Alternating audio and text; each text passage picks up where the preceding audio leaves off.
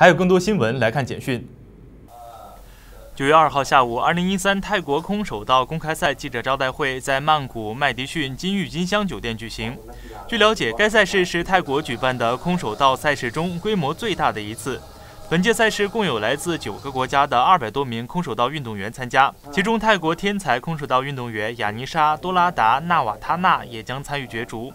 对于泰国空手道运动员来说，能在家门口就有机会积累国际比赛经验，是一次非常难得的机会，同时也是为了2013年西班牙世界青少年空手道锦标赛以及2013年缅甸东南亚运动会做好充分的准备。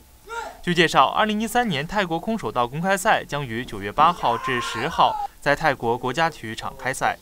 本台记者曼谷报道。